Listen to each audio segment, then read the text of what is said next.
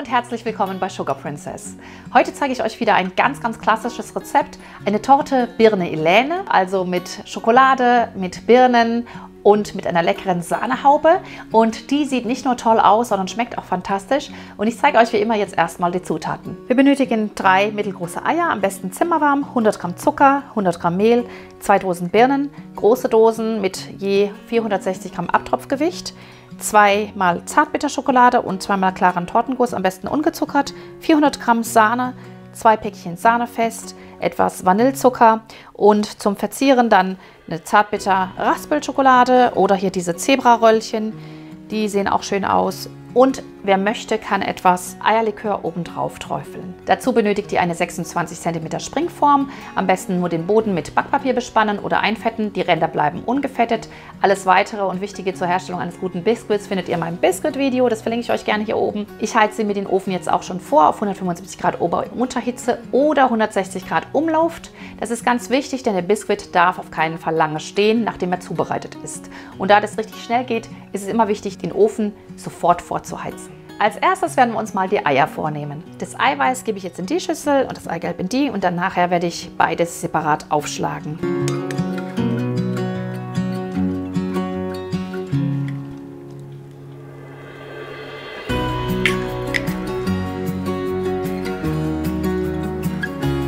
Hier in der Schüssel ist jetzt das Eiweiß und da gebe ich noch eine Prise Salz dazu, dann lässt es sich leichter aufschlagen.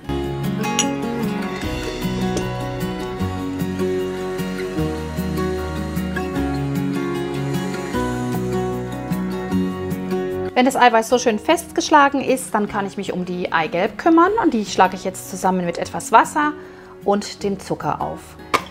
Und da vergebe ich jetzt das Wasser zu den Eiern hinzu.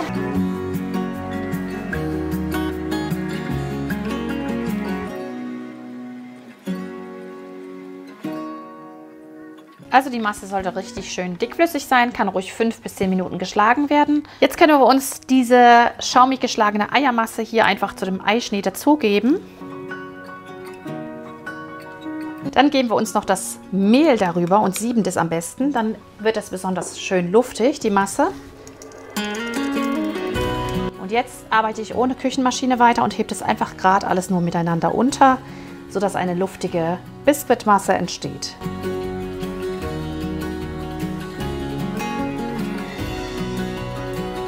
Und dabei ist es super wichtig, dass man nicht überrührt. Es soll wirklich nur gerade untergehoben werden alles. Und sobald keine Mehlnester mehr zu sehen sind, ist die Masse auch schon fertig und kann dann auch gebacken werden. Die Masse sollte jetzt sofort umgefüllt werden in die vorbereitete Form. Das ist sehr, sehr wichtig. Die darf auf keinen Fall stehen lange, denn dann verliert sie an Luftigkeit und ihr habt dann nachher einen Boden, der euch zusammenfällt. Also wirklich immer darauf achten, dass der Ofen gut vorgeheizt ist zuvor, bevor man den Boden zubereitet, denn es geht ja doch recht schnell.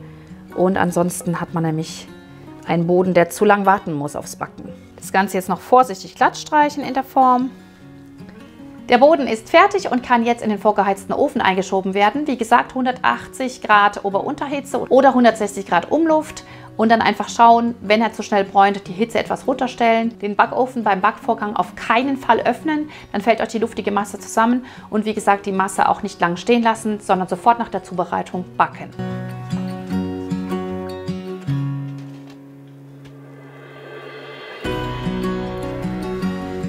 Nach 25 Minuten ist der Kuchen jetzt fertig. Sieht wunderschön goldbraun aus. Nach einer Weile ist der Kuchen schön abgekühlt und hat sich ein bisschen gesetzt und da können wir ihn auch aus der Form rausschneiden.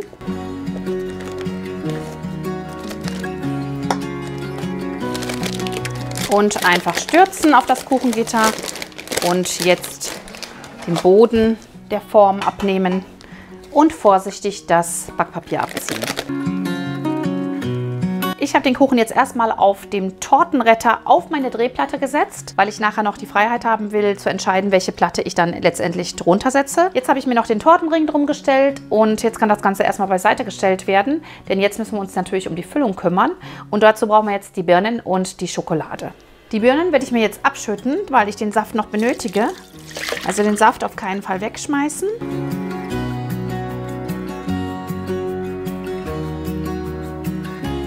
Ganze schön abtrocknen lassen. Und zwei von diesen Birnenhälften benötigen wir noch für die Dekoration, also zwei bis vier, je nach Größe der Birnen. Und mit dem Saft und der Schokolade und dem Tortenguss werden wir uns jetzt eine schöne schokoladige Creme für die Birnen anrühren. Während ich jetzt hier meinen Tortenguss in sechs Esslöffeln von dem kalten Birnensaft auflöse, habe ich den anderen Tortenguss, die 440 Milliliter, schon auf dem Herd und lasse sie da warm werden. Das Ganze hier verrühren, damit das einfach keine Klümpchen gibt. Da können wir uns auch schon die Schokolade auspacken und in Stücke brechen und die kann dann nachher in der erhitzten Birnenflüssigkeit geschmolzen werden.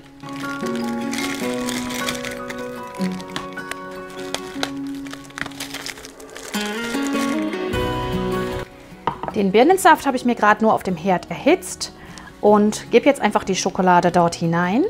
Vorsichtig, dass es nicht spritzt. Und lasse das Ganze darin schmelzen. Jetzt gebe ich den in der Birnenflüssigkeit angerührten Tortenguss noch hinzu. Und lasse das Ganze auf dem Herd einmal aufkochen, bis es andickt. Und sobald es einmal aufgekocht ist und dick geworden ist, können wir uns die beiseite stellen, die Füllung, und die Birnen auf dem Boden verteilen und dann das Ganze auch schon auf den Boden geben.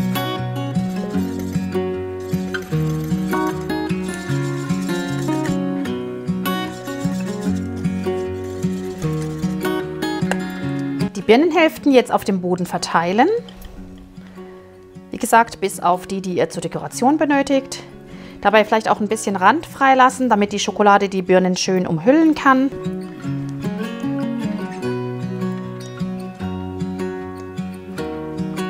Der Boden kann auch gerne noch getränkt werden mit Likör, zum Beispiel Birnenlikör natürlich. Die restlichen Birnen beiseite stellen. Und jetzt können wir uns auch schon unsere Schokoladenmischung, unseren Schokoladenguss quasi auf die Birnen geben. Der ist jetzt ein bisschen abgekühlt. Einmal noch durchrühren, dass sich keine Haut bildet. Das jetzt gerade hier drüber geben.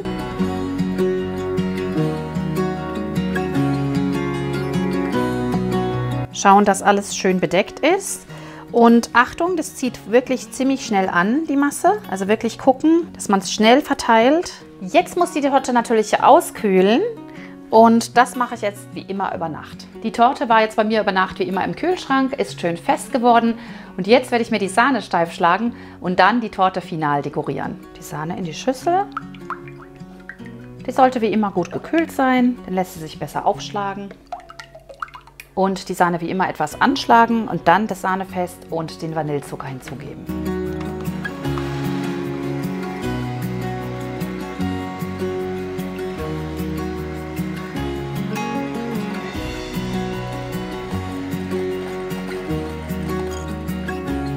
Und sobald die Sahne so richtig schön fest ist, können wir die Torte final dekorieren. Ja, und so sieht die Torte jetzt aus. Ich hatte sie, wie gesagt, abgedeckt im Kühlschrank und sie lässt sich jetzt auch ganz gut vom Rand hier lösen. Es hat sich alles gut einfach von selber zusammengezogen. Den Tortenring öffnen. Wenn ihr die Torte so lassen wollt und obendrauf die Schicht Sahne nur haben wollt, dann lasst ihr natürlich den Tortenring drum, dann lässt sich das einfacher verstreichen.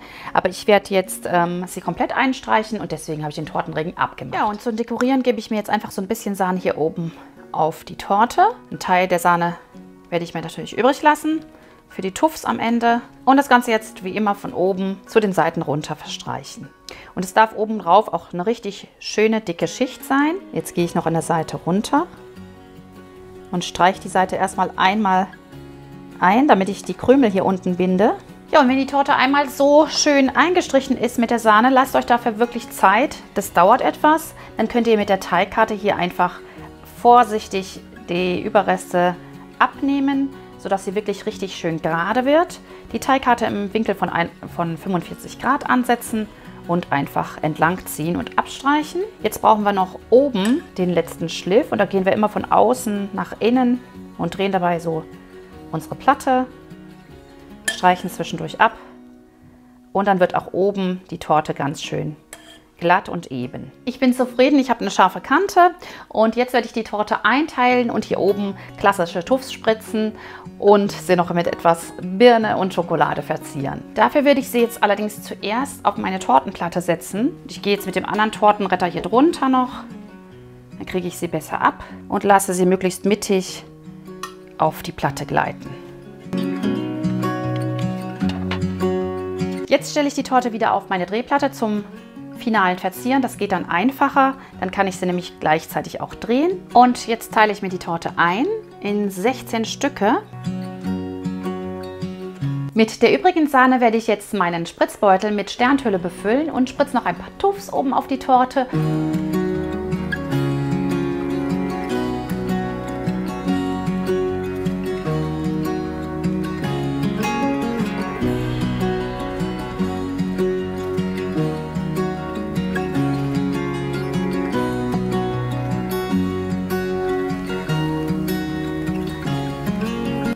Wunderschön, könnte man auch schon so servieren, sieht einfach klasse aus. Jetzt gebe ich noch 16 Birnenschnitze hier auf die Stücke und ich lehne die so ein bisschen an die Sahne an.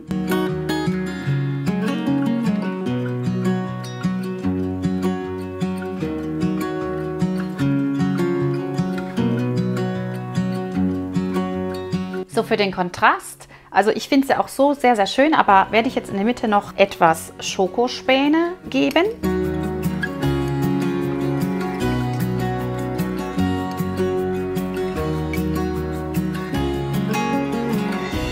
Schluss auf jedes Sahnehäubchen noch ein Zebraröllchen.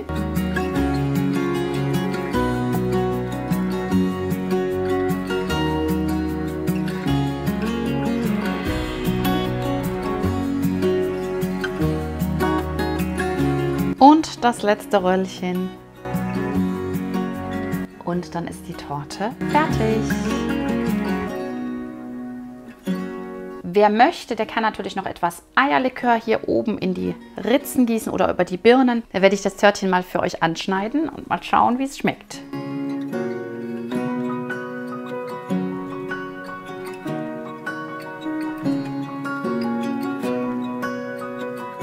Und so sieht das Törtchen aus.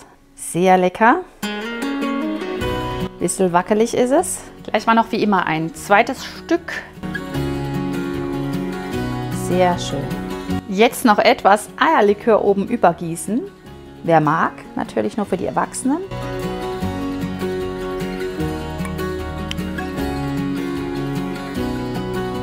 Also, heute habe ich Glück.